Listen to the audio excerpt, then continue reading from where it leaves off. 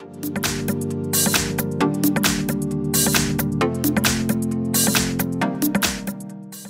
Hi everyone, in front of me I've got Huawei Nova 9 SE and let me share with you how to reset camera settings on this device.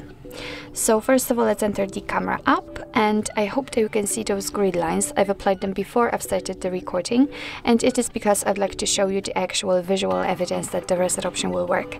So now we can enter the settings which are in the right upper corner and here we have to scroll down to the very very bottom. As you can see we've got the option restore default so simply tap on it.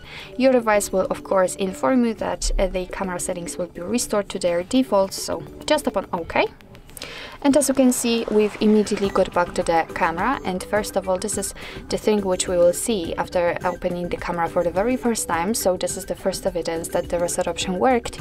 What's more, we cannot see the grid lines and it means that we just successfully reset camera settings.